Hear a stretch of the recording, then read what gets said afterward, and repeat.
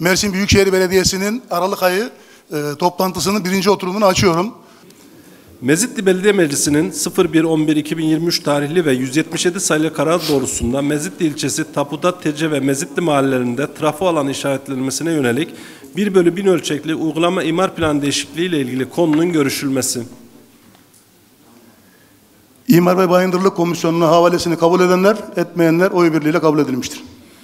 Akdeniz ilçesi Bahçem Barış mahalleleri 1. bölge kentsel dönüşüm ve gelişim proje alanı sınırları içerisinde yer alan park alanına ilişkin 1 bölü 5000 ölçekli Nazım imar planı değişikliği ile ilgili konunun görüşülmesi.